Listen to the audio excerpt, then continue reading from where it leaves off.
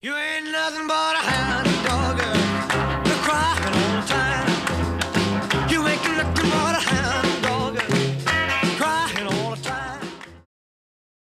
Welcome to Conversations with B'nai B'rith International.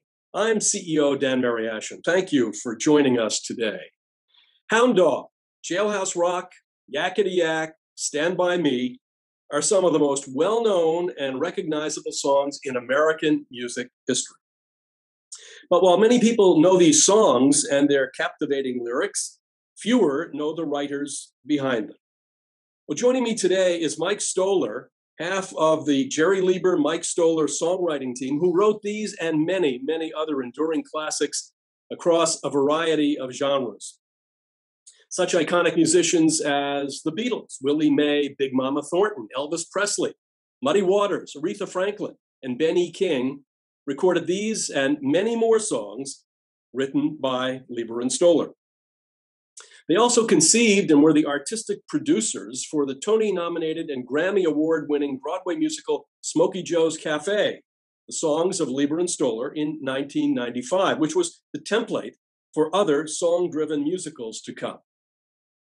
Mike Stoller and Jerry Leiber first joined forces in 1950 when they were just 17 years old and were signed to Atlantic Records in 1955 after their work caught the label's attention. Leiber and Stoller wrote songs together for more than 60 years until Jerry's passing in 2011. They received numerous awards and honors for their work, and in 1985 were inducted into the Songwriters Hall of Fame, and in 1987, the Rock and Roll Hall of Fame. I'll speak with Mike about his work as a songwriter, his time as part of the Leiber Stoller team, his love of music, and much, much more. Mike, thank you for joining me today. It's a pleasure to be here. Thank you for that wonderful introduction. Well, I have to tell you, I was in high school, I was a DJ at what we then called record hops. And uh, I can't tell you how many times I saw the Leiber Stoller names in parentheses under so many song titles. So it's great to have you with us today. Let's start early in your life. You developed an affinity for blues and for gospel. What are your first memories of hearing this kind of music when you grew up in New York City? well, actually, the first time I heard anything that relates to blues was Boogie Woogie Piano. And I was seven or eight years old at summer camp, uh, an interracial summer camp. This is back in 1940, 41. And a black teenager was in our, the barn, which was our recreation hall. And there was an upright piano, and he was playing boogie boogie, and I was mesmerized. I, you know, I mean, I hadn't heard anything like that before. And I stood there. He didn't even know I was there. I was standing in a corner. And uh, when he left, I tried to make my fingers move the way I saw his moving when he made this magical music. And that was my introduction to uh, blues. And uh, I then bought records. I got my parents to buy me records. And it was Pinetop Smith's Boogie Woogie, 78 RPM 10 inch records. And uh, I just kept listening. One of your early piano teachers was James P. Johnson. He was an iconic figure, uh, remembered uh, as one of the great pioneers of, of jazz. Um, tell us a little about him and what did you learn from him? Well, the uh, a neighbor in in Sunnyside where I grew up uh, heard me playing boogie woogie and insisted that I meet James P. Johnson, and um, so I was taken out to uh, his home uh, in Jamaica in Queens, and uh, you know, he was the master of stride piano.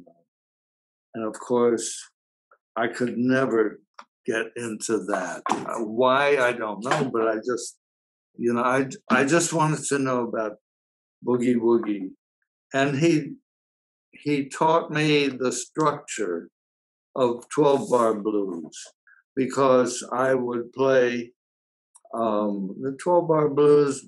Basically, deals with three chords, uh, the one, four, and five, and I would just play on one of them till I was tired and then move to another.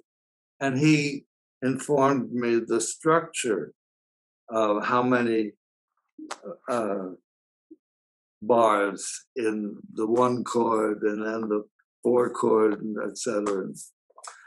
And he also taught me some um, some fancy fingering stuff that knocked me out.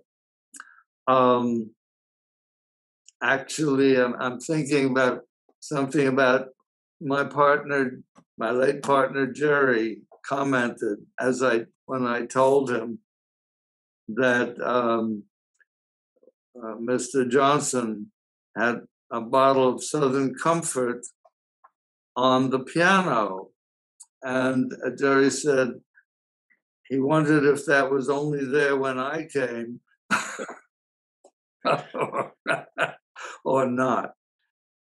Well, clearly it worked either way. Worked Well- for him and it worked for him and it worked for you.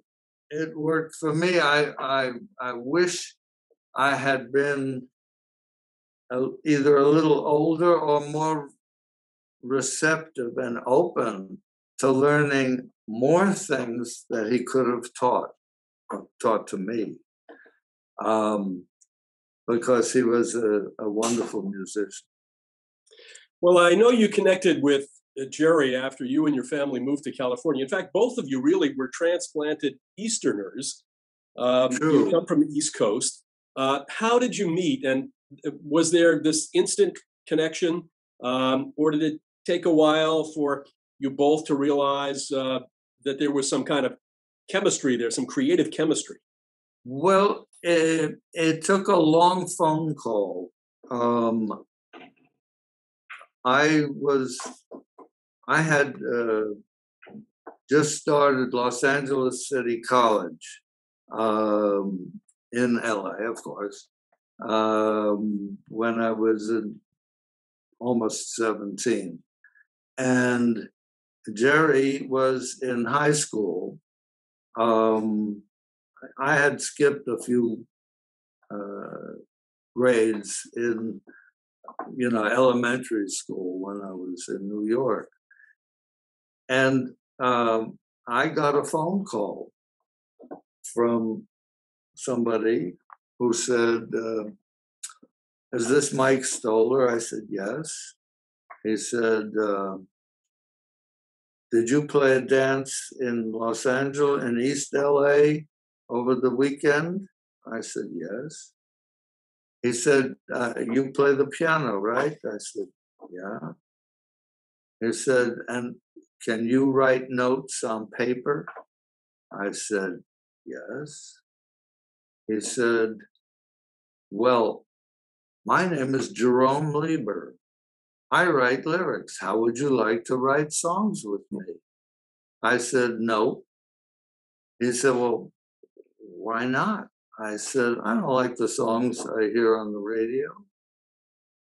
Uh, he said, Well, what do you like? So I said, Well, I like uh, I like Bartok, Stravinsky, Charlie Parker, and Thelonious Monk. And he said, Well, nevertheless, I think we ought to meet. he was he was uh, nevertheless uh, the words that I remember that actually got me to be a songwriter. So really, so so until that time, now when you were just to go back to New York for for a bit, Yeah, you would go into the city, you go to 52nd Street, you go to some of the clubs, you you you had you immersed yourself in in that in that musical environment, which which clearly to your ear is something that that you liked, notwithstanding notwithstanding Bartok. This is something that you that you like, but and you could write music. But did you did you think that you wanted to be a songwriter, and where did where did that uh, step into the picture, or was it with this phone call from Jerry? It was the phone call. I I really wanted to be a jazz musician, I wasn't good enough to be one. But I hadn't figured that out yet. and and Jerry uh, uh, finally said, "Well, hey, you want to come over? Come over." And uh, he did. As I recall, I was hanging up the phone and the doorbell rang, but I know that that's somehow condensed. And he came in and um, he had a speckled notebook. And I said, Are those your lyrics? I was being kind of aggressive. He said, uh, Yeah. I said, Well, let me see them. so I looked and I saw a line of lyric, a line of ditto marks, and then a rhyming line. I said, Oh, these are 12 bar blues. He said, They are? He said, Well, then I guess that's what I write. And I went to the piano and started playing a little blues, and he started singing some of his words along. And we shook hands and said, Hey, we'll be partners. And we were partners for 61 years. Yeah. By the time you were 20, and this is real now, we're talking about the early 1950s. By the time you were 20, your songs had already been recorded by um, a number of artists uh, Big Mama Yeah. Thornton, Ray Charles. Um, how, how did that work? I mean, you were, you were kids. Um, i- i- in, in New York, from what I've read, uh, with the Brill Building, you know, there was kind of this this factory of songwriting and and uh, it, it- it kind of a conveyor belt uh, from the writers uh, to to the artists. Uh, how does it how did it work in Los Angeles? Was it there the same kind of music scene which allowed you to do that? Well, the thing is, at that time, uh, the R&B, rhythm and blues, or uh, the, they used to use terms like race music um, and other uh, phrases that were not as nice. But um, not too many people, not too many young people that I knew uh, or too many white young people were interested in writing that kind of music. But those performers, like Jimmy Witherspoon, Little Esther, uh, Ray Charles, those were people that we admired, and we wanted to write songs for those kind of people. And um, Jerry was working after school at uh, at a record store, and one of the people who came in, who was a sales manager for Modern Records, a, a, a label that featured primarily rhythm and blues uh, performers, uh, met Jerry, and Jerry was telling him he wanted to be a, a songwriter, and uh, showed him or sang him rather some lyrics and this was a fellow named lester sill. And lester told jerry they were really good and that he should get somebody to work with him who could write notes on paper. Hmm. And that was why when jerry called me he asked if i could write notes on paper um, and in addition, after I had also met Lester, he introduced us to one of the big disc jockeys in Los Angeles, Gene Norman, and um, Hunter Hancock, and also to um, the guys at Modern Records who he worked for. And we were accepted. Um, and they liked what we wrote. Now, before we talk about uh, your your work with Elvis Presley, uh, tell us a bit about the Clovers and the Coasters, the the Drifters. Um, just one hit after another. uh, do you do you have favorites? I mean, it's like having many children. I mean, with all of these these songs, how did it work? Did you write the song for the the groups or the soloists uh, to make the most of what you felt were your musical strengths and your gifts, or um, did you just write the songs and then pitch them to to particular artists? How how did that work? Well, early on, we wrote songs when we didn't have a specific artist to perform and hoped that uh, a blues song that we wrote would be appreciated and you know we'd get somebody to want to do it um, but little by little we uh, developed a reputation in in the rhythm and blues field in Los Angeles. And uh, Johnny Otis, who had a band um, and featured different vocalists, uh, would contact us and say, Got a session tomorrow. I need some blues. I need, you know, three songs.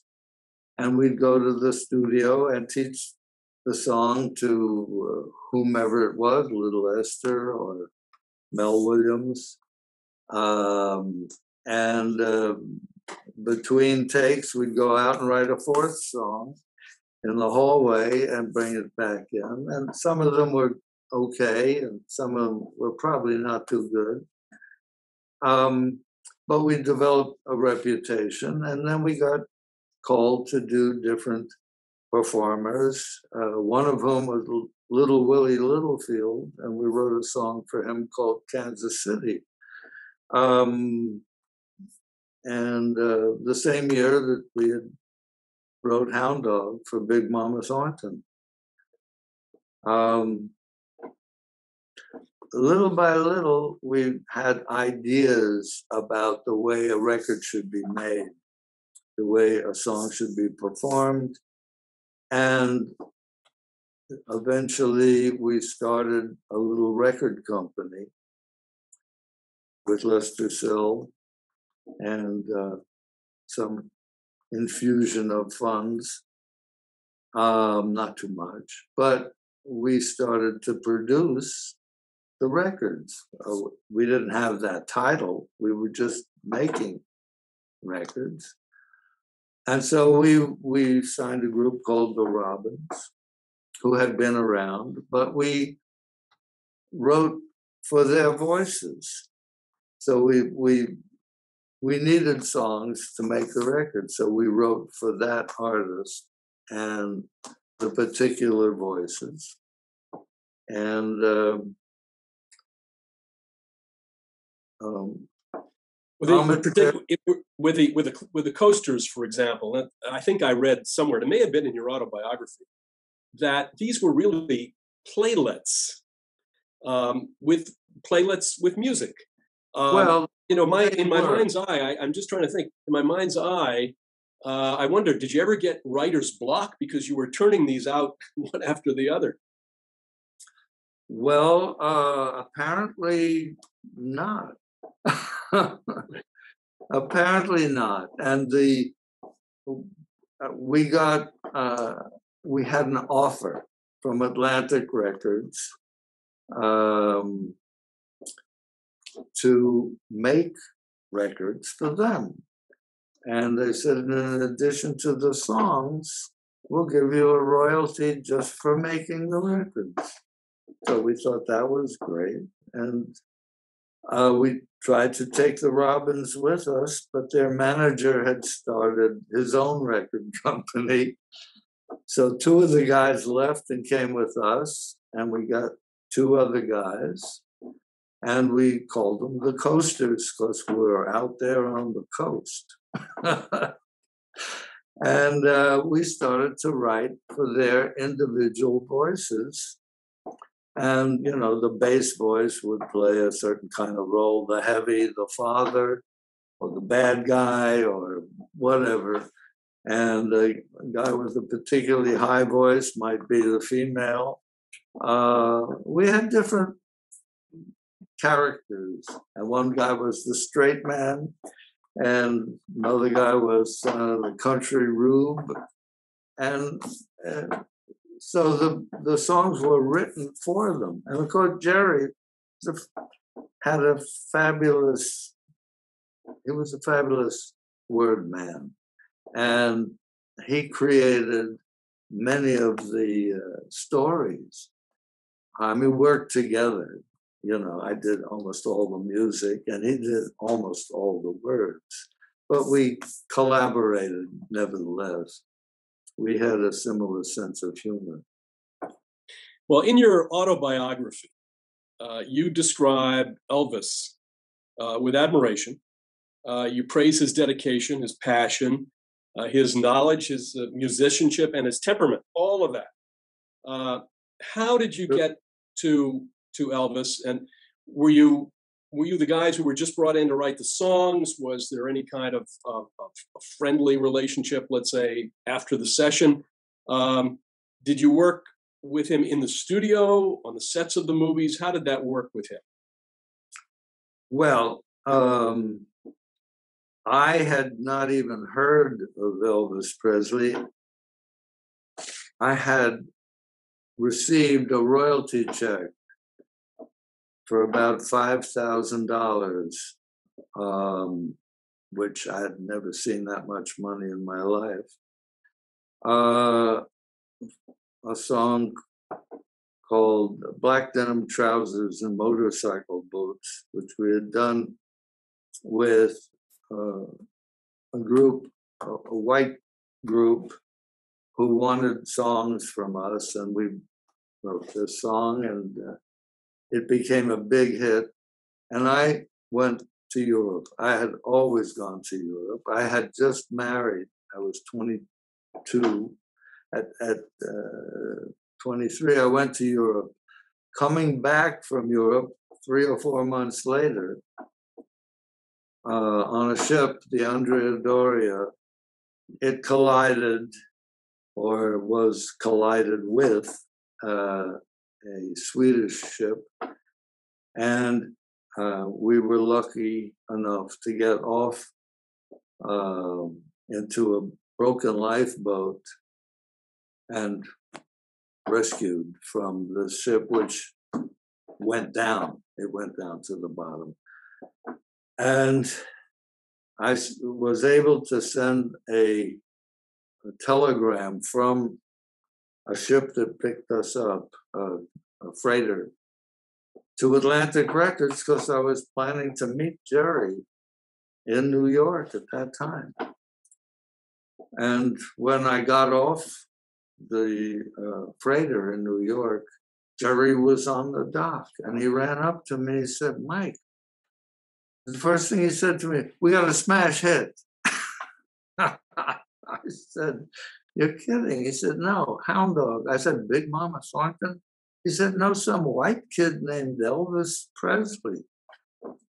That's how I found out about Elvis. Uh, listened to his record, didn't like it as much as Big Mama Thornton.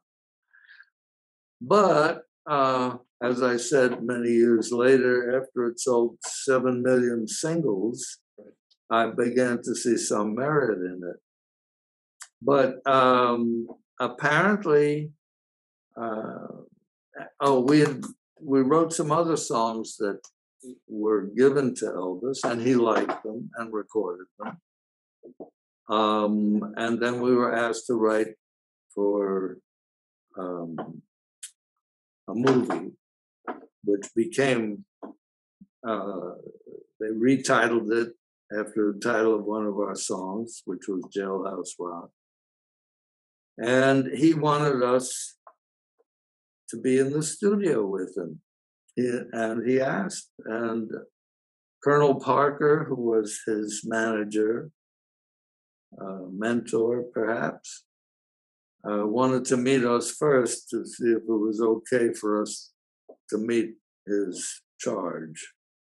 And um, I guess we passed muster. And, and we went to the studio to record the songs that we had already written for him for the for the movie. And um, after a very short time, the head of RCA, who was ostensibly supervising the recording, he just left because we had taken over and we were functioning as well what became known as producers. Uh, i always thought it should have been directors but that title which was given to us by atlantic um,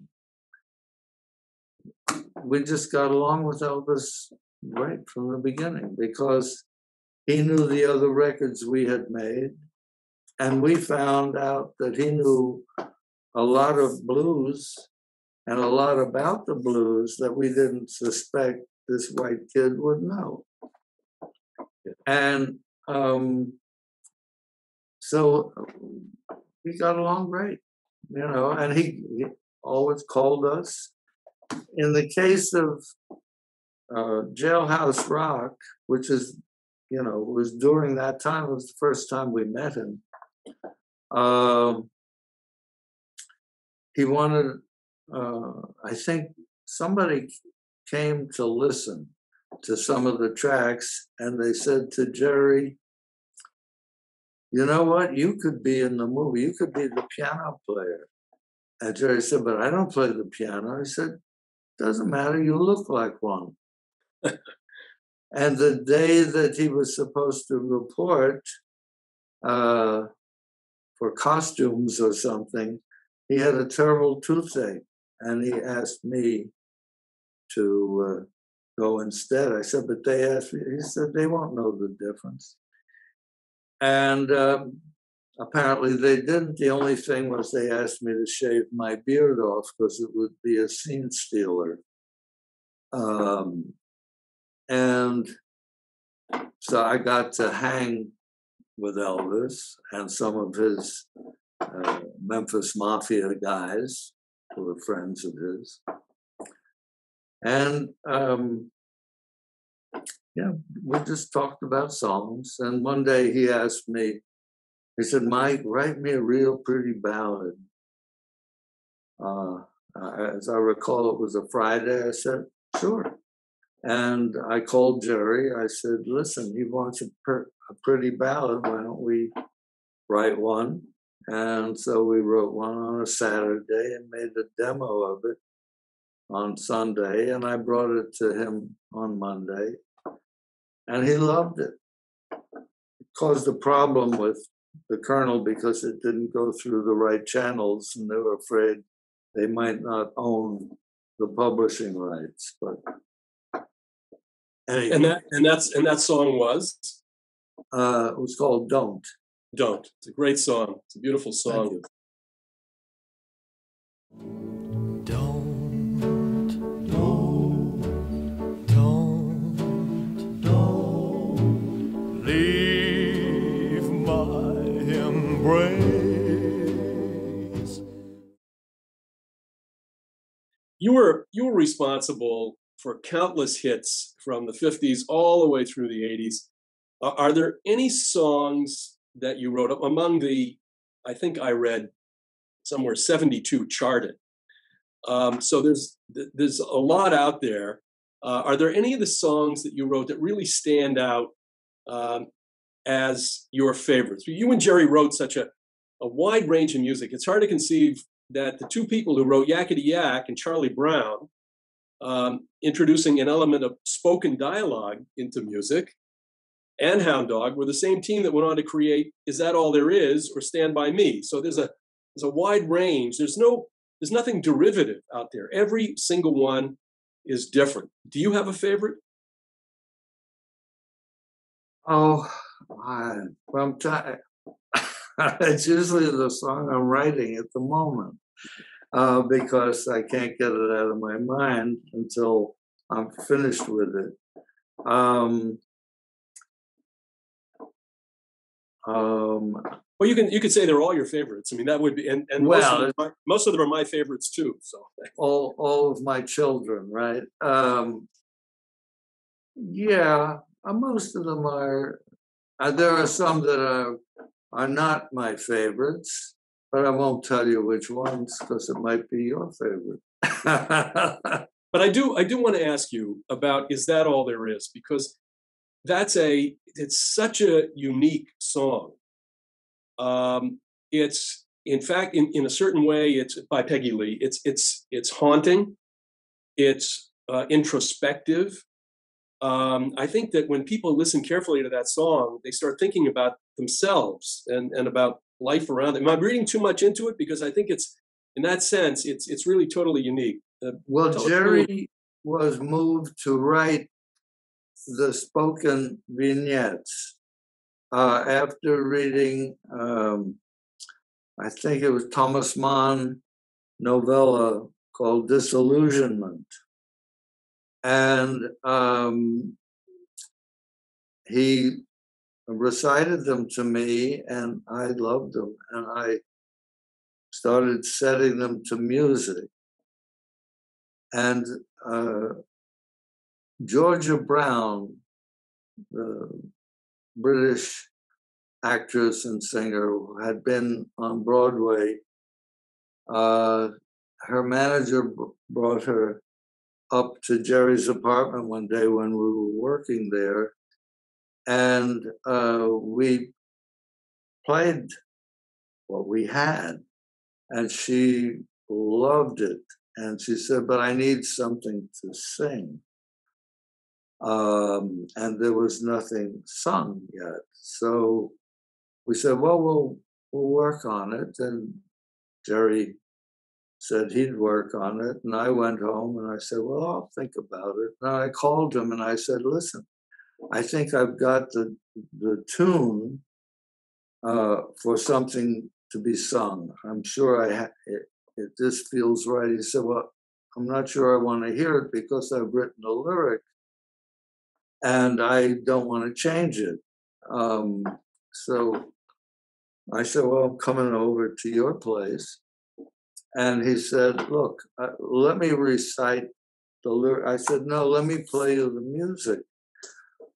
He said, Okay, play it. And then he said, Play it again. And he had the lyric that he'd written, and it fit perfectly with the music. And that's the only time that ever happened with us. Um, but I must say that then when Peggy heard the demo that we had done, and she said, This is the song I want to do. And uh, we uh, were contacted by um, Capitol Records, who asked us, okay, you make the uh, recording with Peggy. And uh, we fortunately got Randy Newman to do the orchestration. And I must say that the the first two verses, the first two uh, that Randy did an incredible job. Um, and it's it's a beautiful part of the song. Well, it's a it really is um, it's totally unique in, in its in its sound and in the the uh, atmosphere which which you create, Mhm. and uh, it's uh, certainly certainly one of my favorites. Now, you're you're probably you know mostly for this great rock and roll songbook, but you um, wrote across a wide range of, of genres. Uh, I want to talk to you about going to Broadway. I know that you always wanted to, to do something on Broadway. Um, you uh, uh, ultimately did. You brought Smokey Joe's Cafe, ran for over 2,000 performances, and I'm sure all over the world. Um, uh, an amazing uh, record in it in its own uh, uh, regard. Uh, but you stood your ground, uh, as I've read. The there was a, a real push to have there be a narrative and get there be a book and to have a story around it, and you kind of stood your ground and said, "Look, let the music speak for itself." So tell us a little about that. Well, we had actually seen um, a show in Seattle, which got some notice, and I went up to see it. Uh, Jerry didn't make that flight, and um, it included songs that I wouldn't have included that were not so good. they were Leiber-Stoller songs that weren't as good as some other ones. Um, and but it had a story, and the story didn't make any sense. Uh, and the characters were, you know, uh, like uh, Big Mama and uh, Charlie Brown, and uh, you know, they they just didn't make sense. In fact, there was another one done similar to it in London with um, Ned Sherrin uh, directed a show and co-wrote it with somebody else, but using all Leiber-Stoller songs. And they had Big Mama uh, married to D.W. Washburn, and they had a son named Charlie Brown. And I mean, it it got ridiculous trying to shoehorn all these songs into a story. And so when the the uh, possibility of doing a show with our songs came up, uh, I told the producers who wanted to do such a show that uh, let's forget the story. Let's just do the songs. And they said, okay.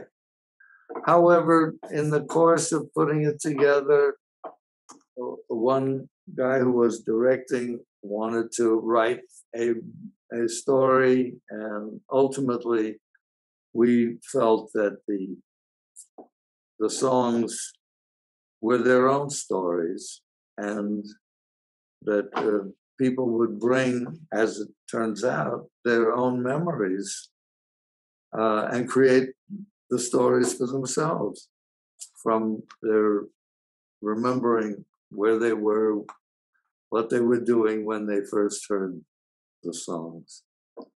And it, it worked. worked. It worked for uh, five years on Broadway, yeah, from 95 to 2000.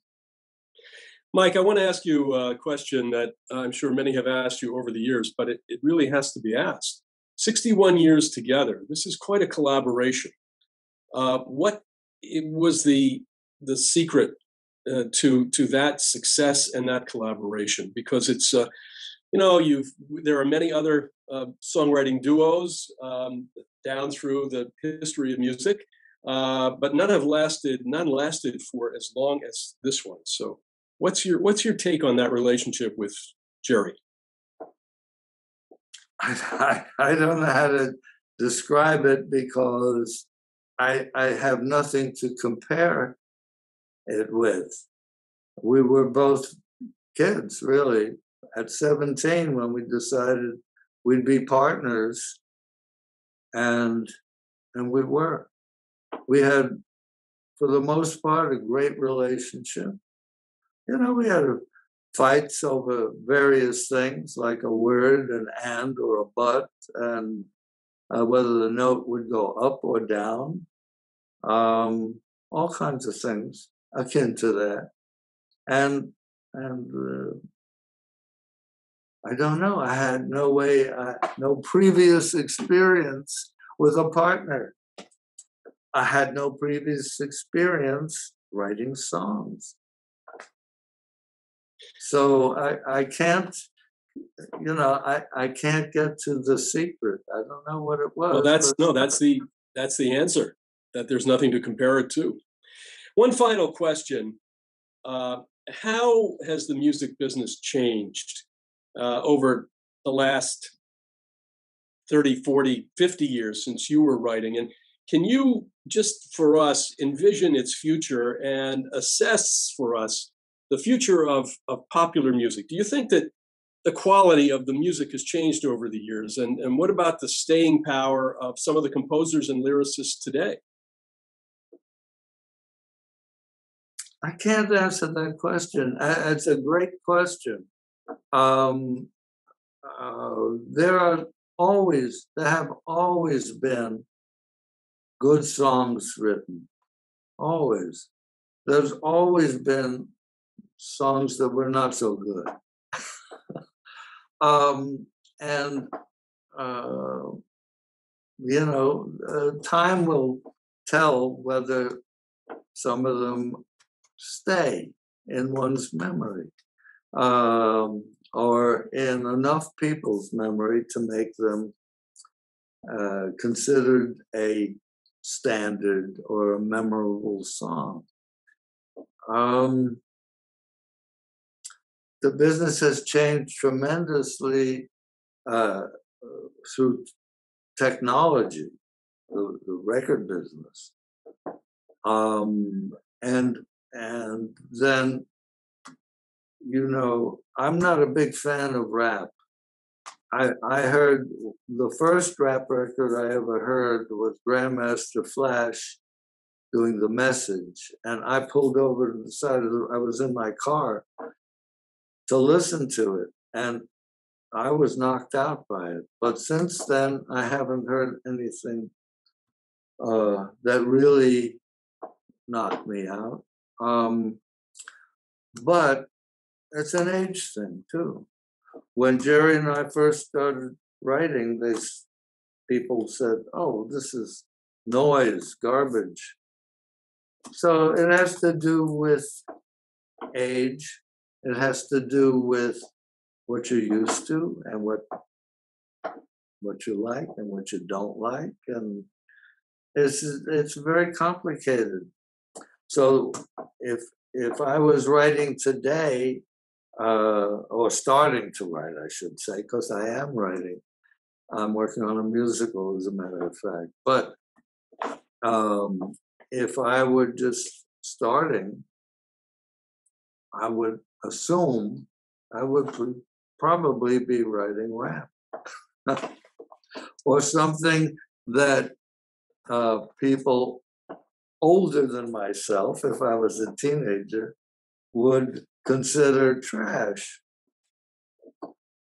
Well, my guess is that the Leiber Stoller songbook uh, will still be played frequently uh, a uh, hundred years from now. So I think your, I so. your, your your your songs are they're they're sure bets uh, for the for the long run. Mike, thank you so much uh, for being here today, telling us about your iconic uh, and enduring uh, career as a songwriter. It's really been a great honor and a great pleasure. Thank you so much.